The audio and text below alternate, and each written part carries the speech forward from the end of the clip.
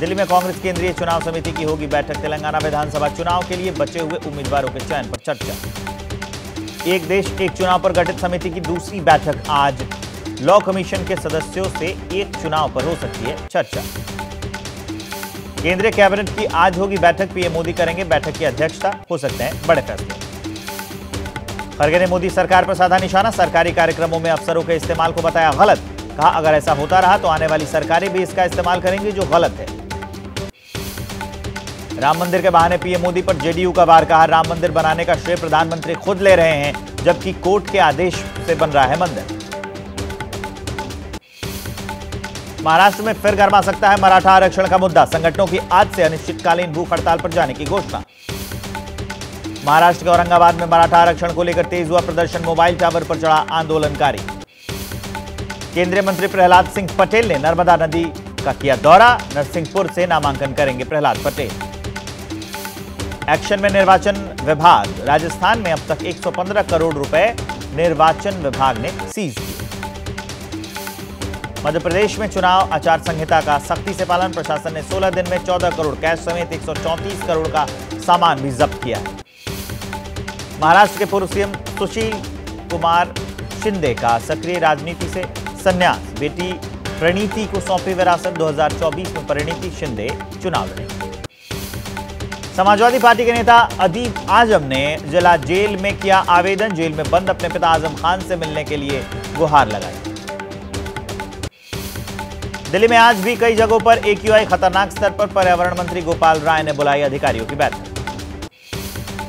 पिछले 24 घंटे में राजनीति माफ़ कीजिए राजधानी दिल्ली में प्रदूषण के स्तर में इजाफा हुआ है। लोधी रोड सहित ज़्यादातर इलाकों में 200 के पार एक्यूआई पहुँच गया।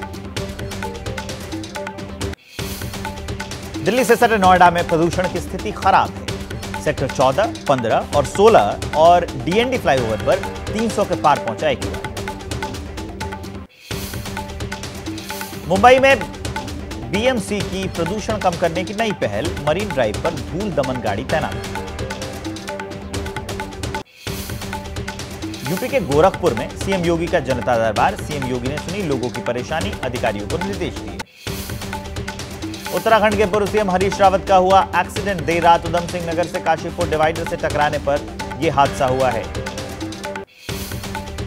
महाराष्ट्र के नासिक में ललित पाटिल ड्रग केस में बड़ा खुलासा, गिरना नदी में मिली करोड़ों की ड्रग्स तेलंगाना के बचुपल्ली में पुलिस ने दो ट्रक जब्त किए। दो करोड़ पच्चीस लाख की सिल्क साड़ियाँ बरामद। हैदराबाद के मियापुर में पुलिस ने चेकिंग के दौरान करीब साढ़े सत्ताईस किलो सोना और पंद्रह किलो चांदी के गहने पकड़े। तीन आरोपी गिरफ़्तार। हैदराबाद पुलिस ने भारी मात्रा में कैश ले जा रहे छह लोगों को गिरफ़्तार किया, दो करोड़ नब्बे लाख रुपए जब्त। महाराष्ट्र के सतारा में एक मकान में जोरदार धमाका हुआ, छह लोग घायल हैं। धमाके की वजह पता लगाने में पुलिस जुटी हुई। तमिलनाडु में नमक उत्पादन ठप होने से नमक उत्पादन करने वाले मजदूर परेशान हैं। सरकार से राहत के लिए कदम उठाने की मांग। महाराष्ट्र के शाहपुर हादसे में शिवसेना की दशहरा रैली से लौट रहे दुर्घटनाग्रस्त हो गई एक बस ट्रक की टक्कर लगने से यह हादसा हुआ। करीब 25 लोग इसमें घायल। गुजरात के अरवल्ली में केमिकल फैक्ट्री में आग लग गई। लाखों का माल जलकर खाक हो गया। यूपी के झांसी में विसर्जन के दौरान दर्दनाक हादसा हुआ। बैक गियर लगने से श्रद्धालुओं पर डीजे गाड़ी चढ़ गई। कई श्रद्धालु घायल। दो करोड़ तैंतीस लाख की धोखाधड़ी में कंस्ट्रक्शन कंपनी का मालिक गिरफ़्तार, एफआईआर के बाद फरार हो गया था। पुलिस ने लंदन से आते पकड़ लिया।